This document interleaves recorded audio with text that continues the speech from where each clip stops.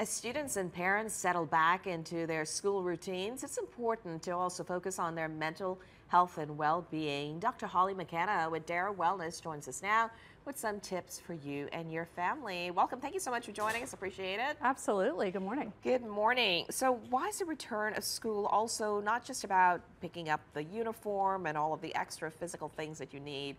Why is this the mental well-being something you should also check into as well? Yeah, so this is a time of change, and with change comes that kind of feeling in your stomach, and you know what we call anxiety and stress, and it's really your body preparing for change. But sometimes the mind can take over, and we can get anxious and worked up, and you know moods can get out of control. It's a time for students when sleep can become a concern. About 60% of middle schoolers and 70% of high schoolers actually report sleep difficulties during the school year.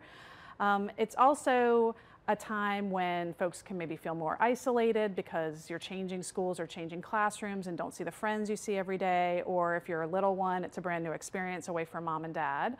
Um, also, there's always the danger at this time of year, and I've been a mom that's done this of the over scheduling of our children.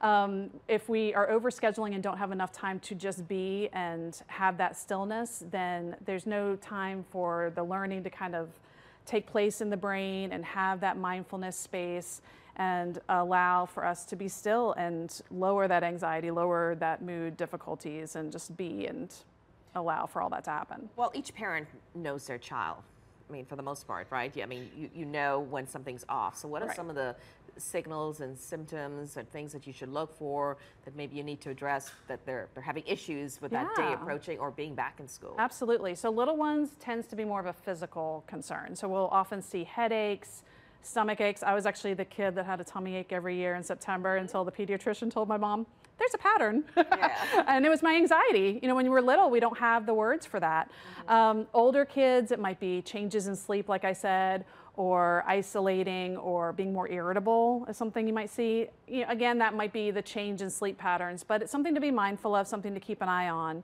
something to check in with your kids about too. So how do you address that? I mean, where do you start aside from also checking in with a counselor, but are there ways you can assure your child that there's no need to be anxiety, to be yeah. really anxious? Yeah, uh, there's some just, just some tips to kind of keep in mind with the school year. Um, having family time or check-in time. It doesn't have to be this big to do. It can be the drive to school if they're awake enough, the drive home. Having that regular time when you're checking in, talking about how your day went, what went well, what didn't.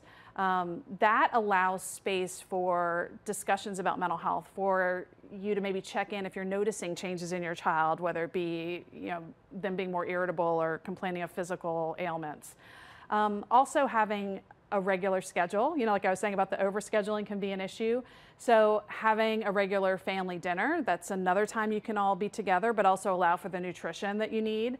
Um, having time outside to exercise, but also working, especially with our middle schoolers, working with how to balance schoolwork and playtime and how it's important to have both. Like that's really the brain needs both to be able to do all the things, but it's also important for us as adults to do that as well. So these are skills that uh, as parents we can really address um, at home. And then if we notice things that these basic kind of uh, skills aren't helping address, then reaching out to the school counselor, talking to uh, the teacher and seeing you know what they're viewing at school. Because sometimes we might see something at home and at school they're perfectly fine.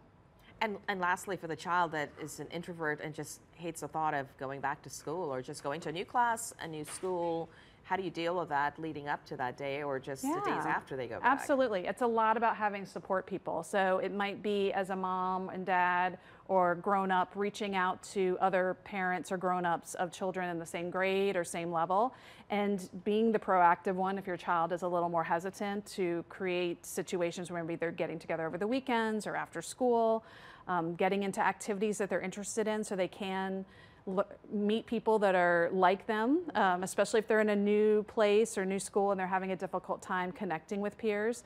Um, and then just having that support network, having those counselors, having those teachers, having the trusted grown-ups around them, so they do have people to turn to when maybe they're having a moment and they just need some quiet. Right, because It is a big deal. We all remember that first day, especially if you're walking into a place you don't know anyone. So Absolutely. I appreciate your tips. Thank you. Absolutely.